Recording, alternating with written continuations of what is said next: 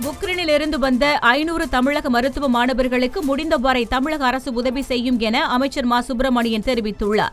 சென்னை கே. கே. நகரில் இருபத்தி மூன்றாவது மெகா தடுப்பூசி முகாமை தொடக்கி வைத்து செய்தியாளர்களிடம் பேசிய அமைச்சர் மா. சுப்பிரமணியன் சென்னை மேயரை அதிமுக ஆட்சிக் காலத்தில் மாண்புமிகு மேயர் என அழைக்க வேண்டும் என மாற்றப்பட்ட அரசாணையை வணக்கத்திற்குரிய மேயர் என மாற்றுவது குறித்து முதலமைச்சர் பரிசீலிப்பார் என்று தெரிவித்துள்ளார்.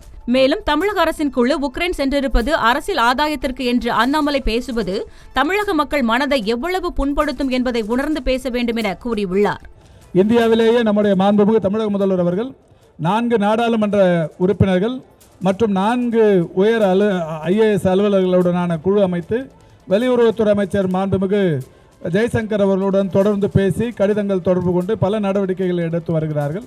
எனவே இதில் நாம் இந்த ஒற்றுமையாக எடுக்க வேண்டிய நடவடிக்கையில் இது போன்ற வேற்றுமையான நிகழ்வுகளை பார்ப்பது என்பது சரியாக இருக்காது என்பது என்னுடைய கருத்து.